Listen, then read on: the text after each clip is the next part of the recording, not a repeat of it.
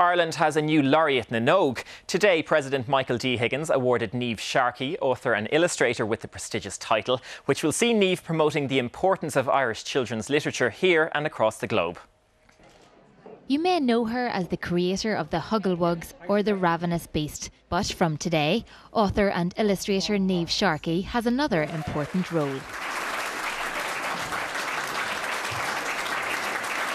Awarding Niamh with Ireland's second only Laureate na nÓg, President Michael D. Higgins welcomed a picture book author to the role. An illustrator is getting the award this year, and I can understand that because children are as moved by images as they are by the words themselves, and much of the first encounter with the story is almost pre verbal.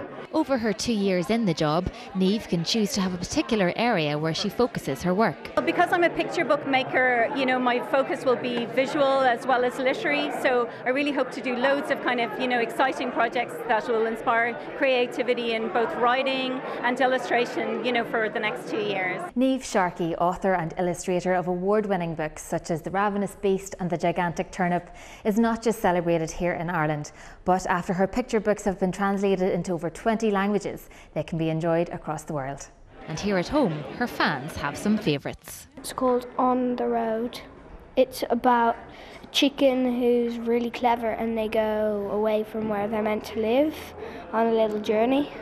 They've got really good pictures and they're quite funny sometimes. What's your favourite? Um, I'm a happy Hugglewug. Why do you like that one? Um, I like all the Hugglewugs and the Hugglewug's friends and I think they're really cute. I love the pictures and she, make, she makes them really funny. A new laureate na nÓg and new golden opportunities for Irish children's literature.